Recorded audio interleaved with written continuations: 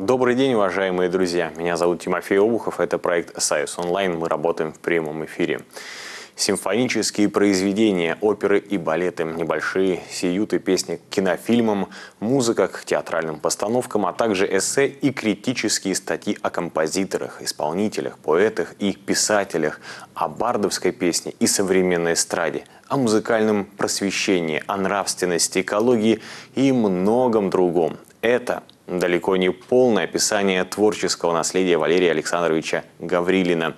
Георгий Свиридов писал Гаврилину «Вы обладаете подлинным литературным даром, что я заметил уже давно. Имеете свой язык, стиль и манеру высказывания».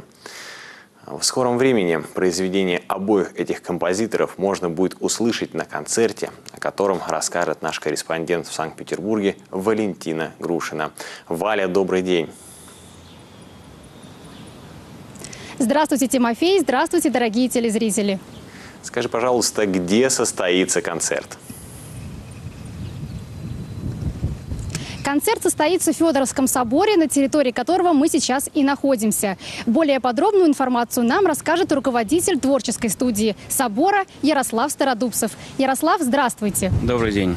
Скажите нам, пожалуйста, а, произведение «Перезвоны» получило государственную премию СССР. Это, в принципе, вполне самодостаточное произведение. Как возникла идея соединить а, «Перезвоны» с музыкой Георгия Свиридова?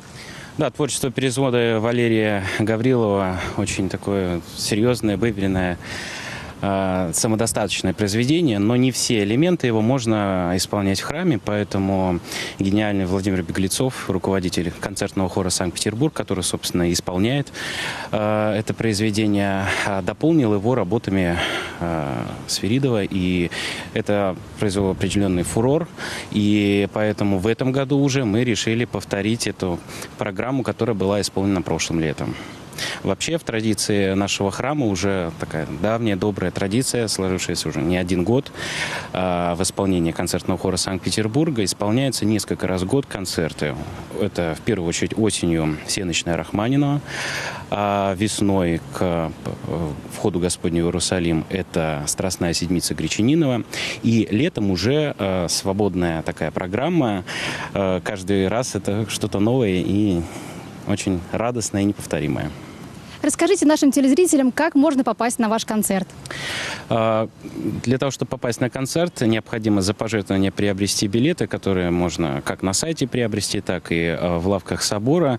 А, вырученные средства идут на содержание духовно-просветительского центра Федоровского собора во имя священномученика архимандрита Льва Егорова.